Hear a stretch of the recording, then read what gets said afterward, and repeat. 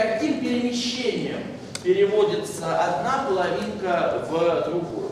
Трудных э, картинок осталось две. Давайте я здесь вот нарисую самую трудную. Клетку пополам можно делить, но здесь в большинстве случаев это не нужно. То есть, э, в принципе, можно. Правилами это не запрещено. Но вот э, именно в задачах, э, в большинстве случаев, это вот, нарисовано на картинке, это не нужно. То есть э, удается без всякого деления клеточки пополам, удается резать именно по клеточкам, э, все получается. Ее требуется разрезать пополам. В некоторых из этих картинок есть э, больше одного способа.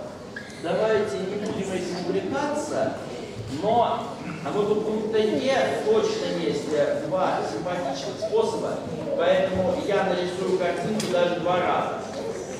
И надеюсь, что вы придумаете оба эти способа. Теперь э, нужно все стереть э, остальное, и получится, получится, соответственно, результат. Э, та фигура, которую надо разрезать пополам. Не забываем отметить, каким преобразованием переводится одна половинка в другую. А по вкусу лучше всего так, как ты сделал. Лучше всего закрасить одну половинку. Ребят, э, не так, у кого есть цветные карандаши, тем совсем легко. Просто цветным карандашом одну половинку. Э, у кого там растет карандаш тоже, у кого только ручки, никак не так. В общем, видно, надо, чтобы одна половинка... Достаточно просто заштриховать. Да, Это не картина. да. 4, 5, 6, 7. 7 раз по 15. Это сколько? Это 105. Ну, на самом деле, верхнем ряду там чуть-чуть есть пробелы, так что народу поменьше. Вас здесь сейчас чуть-чуть меньше, чем 100. А вот правда, что нет ощущения, что нас здесь страшно много, мне дышать не дают. Правда нет такого ощущения? Нет.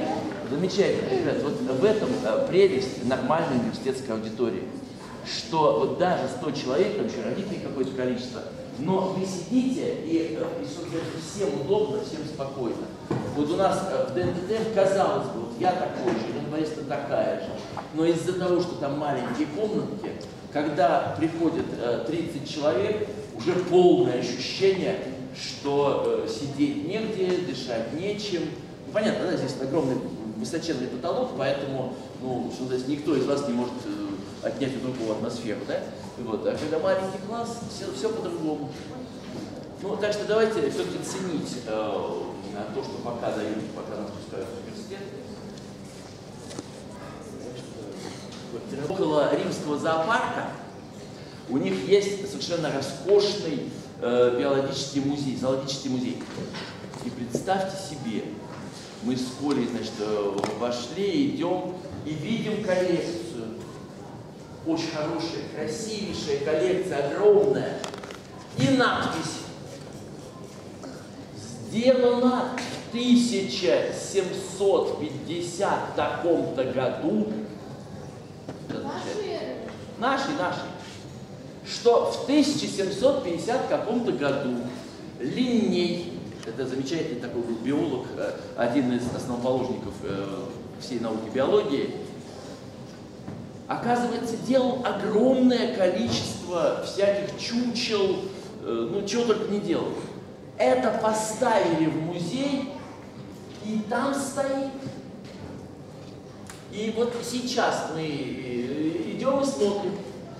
На всякий случай, в Москве, э, скажите, пожалуйста, есть хоть один музей, который с 1700 какого-то года? Нет, конечно. И не может быть. Потому что вообще-то Москву сожгли в 1812 году. И после этого было огромное количество всяких э, преобразований, там, ну, чего только не было. И каждый раз коллекции терялись, терялись, терялись. Вот. э, А в Риме совсем по-другому. Э, Один раз сделали, а зачем же это уничтожать? Стоит и стоит.